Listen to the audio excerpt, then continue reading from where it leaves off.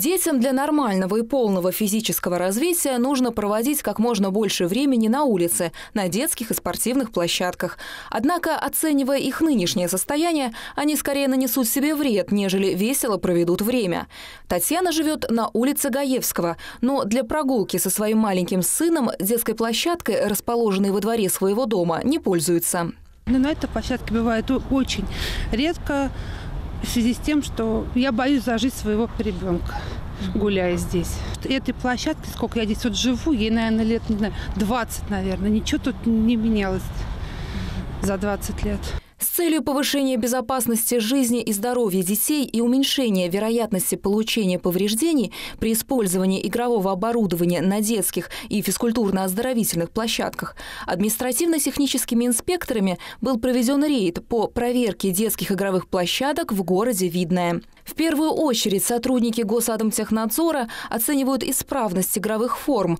Проще говоря, смотрят, не торчат ли где-нибудь штыри, нет ли сломанных частей или трещин, надежно ли держатся узлы креплений, не угрожает ли что-то здоровью малышей.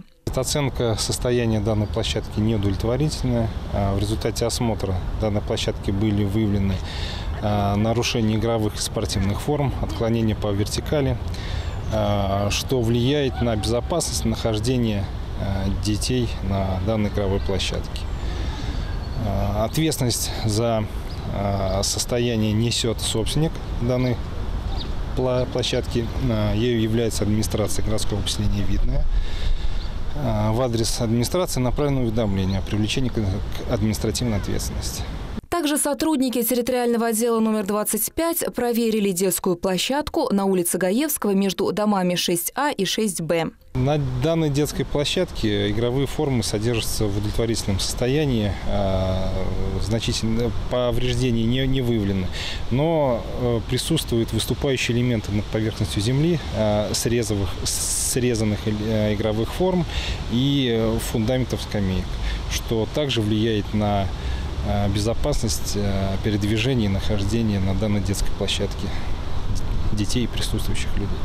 По итогам рейда все нарушители будут привлечены к административно-правовой ответственности за халатное отношение к своим обязанностям. Наталья Буслаева, Евгений Петров, Елена Кошелева, Видное ТВ.